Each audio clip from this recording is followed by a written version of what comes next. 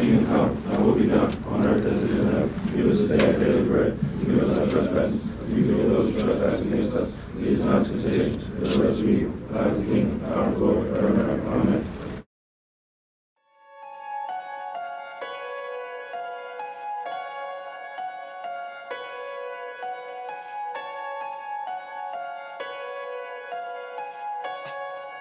Yeah. Look, 2006. These niggas hated, but I told them I would make it from the bottom. Look, you made this shit possible, baby. I'm back on the shits. My baby looked at me like, damn it, I hate when you back on the shits. Looked at it like this. I, I, I gotta stack it in.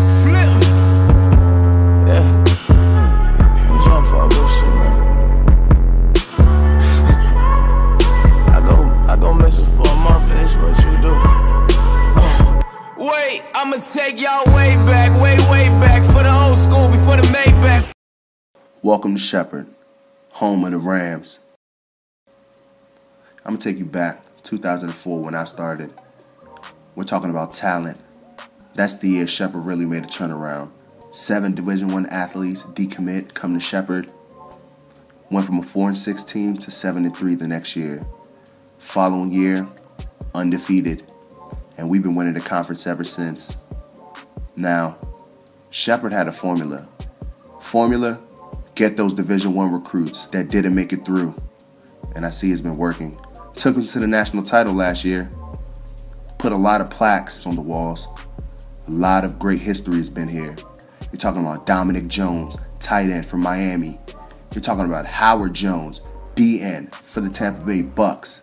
That's the most recent superstar to come out of Shepherd. You're talking about Chanel Jenkins, 6'4, 275 pound quarterback terrorizer. Shepherd been here, you played here, did your thing here. How's it feel now after graduating? You on to bigger, better things, man, working, doing the pro thing. How's that coming? Uh, it's going good. You know, I had my ups and downs, but you know, Shepherd teaches you how to work past all obstacles. Exactly, so. exactly. How, you know, what's your, what's your take? Come from the DMV here, Shepherd Uh, program, you know, everything, we, we definitely, you know, underfunded, but it's a lot of, you know, great players that come out of here every day. So, you know, Right. It just pretty much moves you into, you know, everything. Everything I've become pretty much came from here in my high school. So, can't complain. And it taught me a lot about toughness and various obstacles that you learn. So, Right. it gives you a lot of heart. coming from here, you know, people look at Shepherd like, oh, you come from school, school, and you going there, they're doing your thing there too.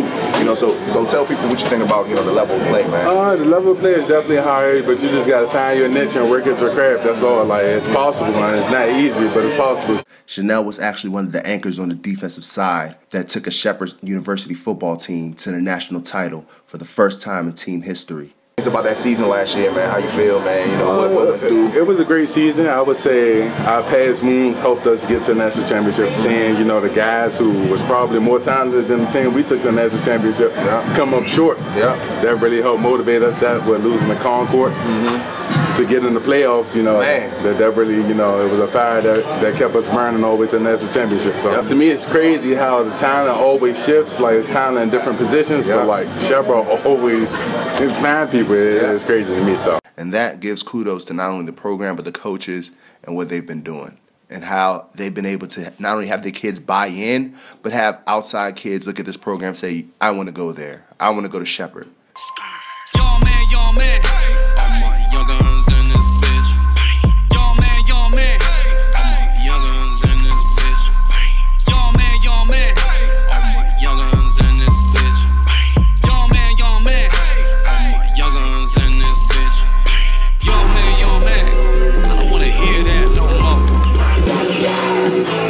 Love it, man. Love it. You know, tell me, how, how do you feel, you know, being here a long time, seeing this program just growing and, you know, you're working with great kids, man? Oh, it- it's been a blessing for me and my family to be a part of Shepherd University and the program and uh, just the growth. You know, I go back and, you know, when people ask me what was your favorite team, Right. I can't. There's nothing. It's like picking your favorite kid. Exactly. I love them all, and I think back to the 2000s and the runs we had there. Think about when I first got here, and the things we've done recently. It's just Mm-hmm. Right. been awesome. And you know, the school it speaks for itself, and the program, the kind of players we can recruit, the people Yeah. we can bring in the program, and, and that's the stuff that makes you proud. And, and you know, I think we have a great staff. You know, Coach Cater's been here Definitely. 30 years. You know, Coach Wow. Klein and the things that they do on defense and our offensive group we have together. We have people that have great passion for coaching, Yep. have great passion for Shepherd University, Yep. and want to be good. And uh, and and I think that's a credit to everybody involved. And uh, you know, and, and it's a pretty neat place to be. Yeah, man. You know, and it's exciting for our guys that are here because we've had just about every NFL team in here already this fall. Wow. So it's it would be nothing to see an NFL scout here on our sidelines, watching several of our players, you know, documenting their growth and, and, and who they would be if they're a potential NFL prospect or not. So that that stuff is exciting because as a football coach, you know, you you love the connection to the NFL, Yeah. but you also, you know, we are we are who we are. Yeah. Um, we're a small college. We're a Division two school, Yep. and we really want to be, you know, we want to represent this community, this institution in the right way when we play the game. And you guys are sure doing that right now, man. I want to speak about the three three seniors that you guys have right now. Well, since you're on the offensive side, we'll speak about two. Okay. We'll, we'll talk about Jeff and Billy. I Yeah, mean, yeah. these are two two special toys that you have on the offensive side of the ball there. Um, you know, knowing the Shepherds' history, I mean, I'm sure they're shattering records right now. They really are. On the quarterback side and wide receiver side. Now you have these type of specimens. I mean, Yeah. that, that are here. You know, how, how does that make you feel? I mean, is it easier for Well, you? oh yeah, well yeah, I don't. You know, we we've had some great coaches that have helped develop and the offensive grow Right. over the years from when you played and Right. back in as where we are today. You know, and we're always studying, trying to make ourselves better, Right. find better ways to do it. But you have to have players. Yeah. You have to have good players to be successful, and we're fortunate enough right now we do. And here's the deal: we got one of the best wide receivers in the country, Yep. one of the best quarterbacks in the country. Yep. We got an All-American kick returner. We moved to the other receiver Yeah. spot. So what do you do? Well, we, you, you Gotta get the ball to you- your playmakers. Yep. And how do you guys just manage to continue to get the talent in and out every year? talent in and out. You know, I know you do a great job recruiting and everything, but Well, you know that that's what it is. You have to recruit good players Right. Mm-hmm. who fit who we are. Uh, you have to have players who um, buy into competing. Exactly. Uh, they don't buy into the academics and who Shepherd is as a university. Exactly. We don't try and recruit somebody that's not a good fit here socially, academically, Mm-hmm. and we try to find the best athletes that we can. Not only they find the best players that they can, but man, to be honest, they're finding some of the best players in the country. When you look at a player like Jeff Ziemba, he should be a Division One starting quarterback. Tre Sullivan is nasty. That's one guy that you got to keep an eye out on, and I'm gonna be rooting for to make an NFL roster. You have Billy Brown. You put this guy on any team. You put this guy on Alabama, you know, and he's gonna dominate. I might be a little bit biased coming from the same high school, Gaithersburg, but that's just what we do there, man. We just ball out. now tell me like what do you think has changed from year one to year five? Honestly, uh, I mean, the social life here has changed. You know, there's like there's more things Got to do. better, Yeah, there's, yeah. I see they building new buildings back there. I'm like, to do around okay. here off Right. the field, you know, and then I just feel like the program just gaining, you know, popularity. You know, we got to our class got some, to accomplish something that no other class prior to us, you know, got to do, which was win the national championship. And, you know, we like you said, uh, we played with a lot of great players: Chanel Jenkins, um, Howard Jones, Rob Hayes, and he plays for Arena. Yeah. Yeah, it's like can't ask for anything better than that. We just and we win games here. Yep. Now Tre, do you feel like you're the you're you're in control? I mean, you are the free safety of the defense. You know what I mean? Do you feel like that you're in control of the defense? You're the general of the defense. You're like the quarter. You're like Jeff on the defensive side. it kind of starts in practice. Me and Jeff, I look at practice as me and Jeff going against each other. Mhm. You know, uh, I also look at Billy someone to go against, but it's more so me and Jeff kind of figuring out where to put people in the right situations Yep. so that we can win. Yep. So my job is to beat him, and his job is to beat me. Yep. And that's what makes it so good on Saturdays, because uh, I can I can move people around, put them in the right spots, make the right checks.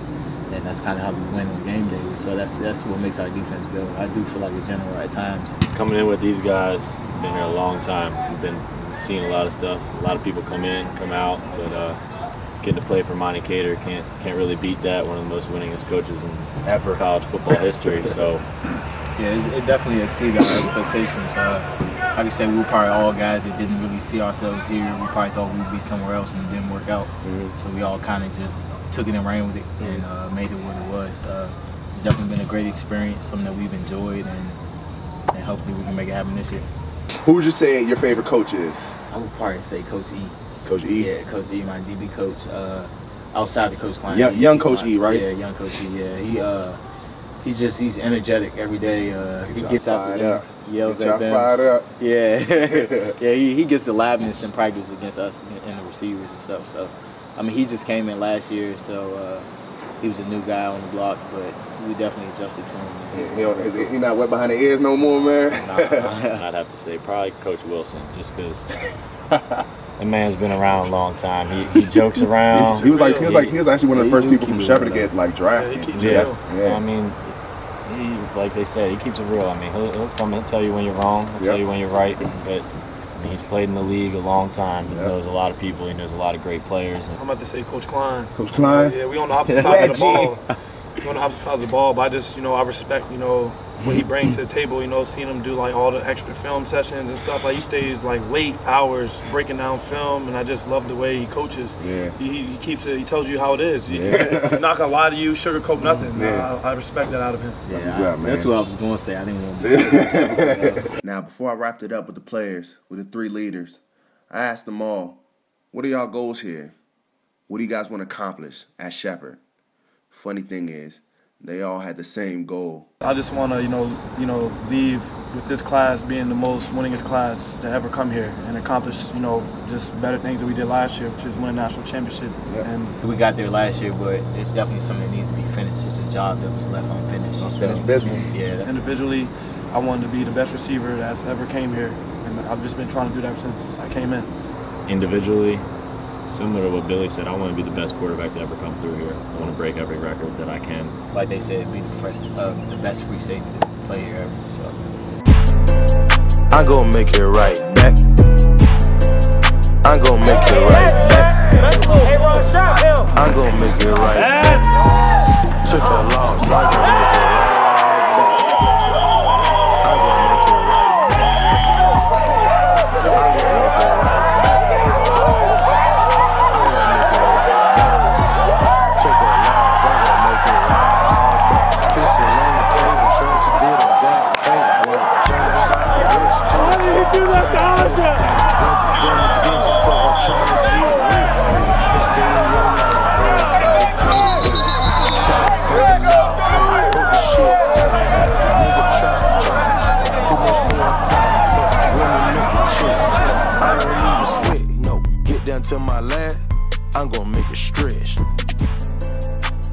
make it right back.